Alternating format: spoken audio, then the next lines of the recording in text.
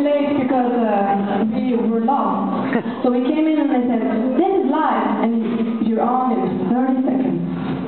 But I hope it was okay. But it was hard. There's some Oh, you heard it? Was it okay? Oh, it was okay. Good, good to know. I heard about Haha. How? Do you hear me? Hello. Hey, Mm. Monsieur Con. Hello. Hello. This mic, where is it? Go on.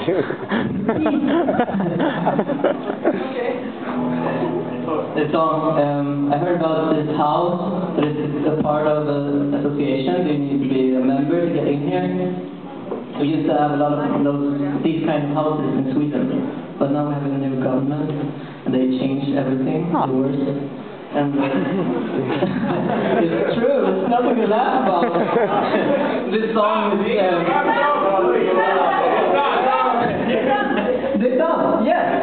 And this song I wrote it when I realized what was going to happen in the last election. I was like a couple of days before the election, and all the polls said we're going to have a new government, and they're going to change things to the worst. And I felt really scared, and this song is about that.